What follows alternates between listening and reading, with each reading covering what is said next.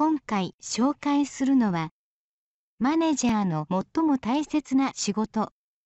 という本です。これまでマネジメント関係の本は読んできましたが、進捗を支援するという点にフォーカスが当たっている新しい切り口の本だと感じました。学術的なアプローチが中心と思いきや、理想論だけではない。リアルな現場マネージャーから出てきそうな意見に対する返答とが組み合わされ、非常に興味深く読み進められました。メンバー個々人の小さな障害や栄養がパフォーマンスに大きく影響していることは薄々感つきながらも、サボりがちだった自分への反省にもなりました。遠回りのようで近道。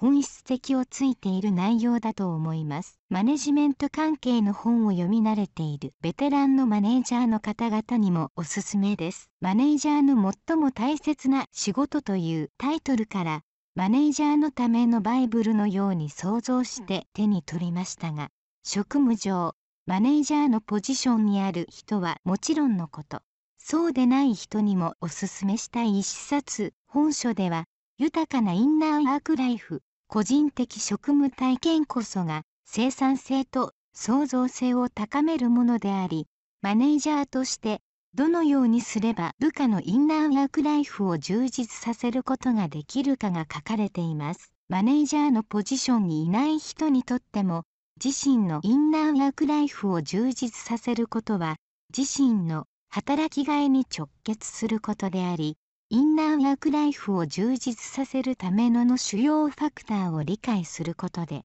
働きがいを改善することが可能だと思います。以上、興味のある方は、実際の商品を Amazon などでご確認ください。今回は、最後までお付き合いありがとうございました。よかったら、チャンネル登録をお願いいたします。